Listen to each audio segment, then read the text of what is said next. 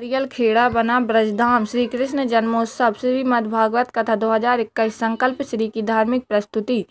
संकल्प श्री संस्था द्वारा नारियल खेड़ा सरस्वती स्कूल मैदान में आयोजित की जा रही श्रीमद् भागवत कथा में आज श्री कृष्ण जन्मोत्सव बड़ी धूमधाम से मनाया गया।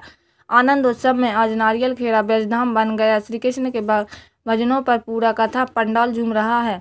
कथा में आज तीन से चार हज़ार की संख्या में पधारे लोग। संकल्प श्री संस्था के अध्यक्ष श्रीकांत विश्वकर्मा ने बताया कि आज सभी श्रद्धालुएँ पीले वस्त्रों में पधारे। उन्होंने बड़ी उमंग से श्री कृष्ण जन्मोत्सव मनाया। कल की कथा में गोवर्धन पूजा व छप्पन भोग लगाया जाएगा। हेडलाइन 24 से संतोषी होगी। अपना निरंतर आठ वर्षों से ही चल रहा है। ये इस वर्ष कथा का आठवां वर्ष है। और इस वर्ष ये अपनी प्रारंभ हुई है।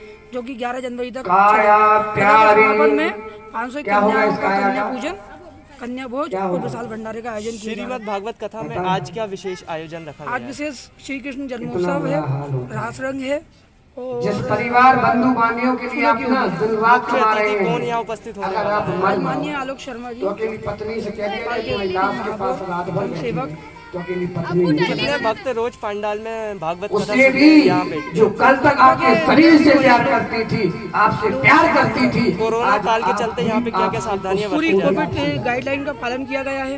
प्रत्येक वो भी आपके शरीर से है। डरती है जिसके लिए आज तक तुमने सब कुछ किया व्यवस्था औलाद के लिए तुमने सब कुछ किया